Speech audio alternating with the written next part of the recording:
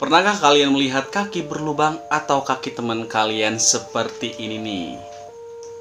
Yuk kita bahas hari ini. Yaitu adalah PT keratolisis adalah infeksi bakteri pada kulit yang bisa mengenai telapak kaki dan juga telapak tangan. Lebih jauh lagi, kondisi ini sering disebut dengan penyakit kulit telapak kaki berlubang. Bakteri-bakteri ini biasa berkembang biak pada kondisi basah dan lembab. Terutama yang bagi orang yang memiliki pekerjaan yang mengharuskan memakai alas kaki tertutup dalam waktu yang cukup lama. Lubang biasanya mengkelompok di sekitar bagian depan telapak kaki, tumit, atau keduanya. Lubang-lubang ini cenderung tampak lebih menonjol saat kaki basah. Tanpa pengobatan, lubang dapat bergabung atau seperti berkumpul membentuk besi seperti kawah besar. Selain menjadi penyebab telapak kaki bolong-bolong, pit keratolisis juga dapat menyebabkan bau yang tidak sedap pada kaki. Wow.